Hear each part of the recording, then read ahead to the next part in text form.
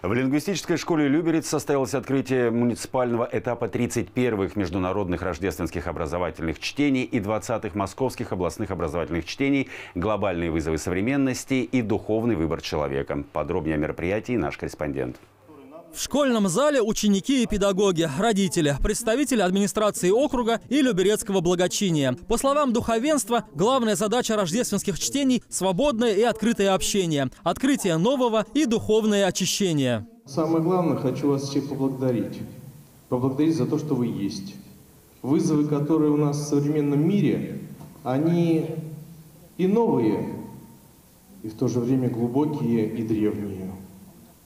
И самое главное, дорогие братья и сестры, Христос, который пришел на землю, дал нам возможность, чтобы мы научились общаться друг с другом.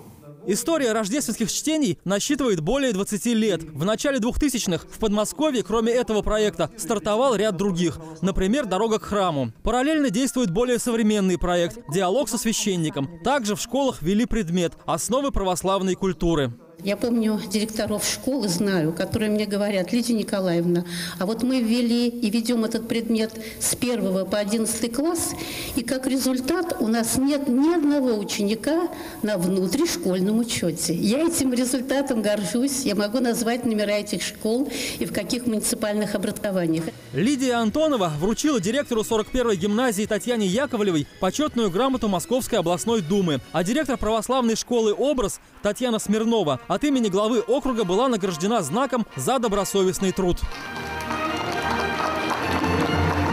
В программе рождественских чтений несколько докладов. Настоятель Владимирского храма в Красково Игорь Крикота отметил, что духовенство епархии в основном работает с учениками школ, а воспитанников дошкольных образовательных учреждений ни один из проектов церкви практически не затрагивает. Чтобы лучше понимать, насколько существенна данная тема, приведу немного цифр статистики.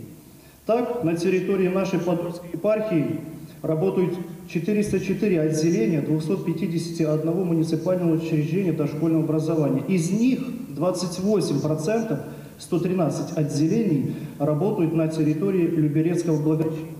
В докладе «Формирование духовных ценностей у воспитанников дошкольных образовательных учреждений» Игорь Крикота раскрыл важность работы в детских садах. Встречи в рамках рождественских чтений на территории округа будут продолжены. Алексей Абрамов, Денис Заугольников, телеканал ЛРТ.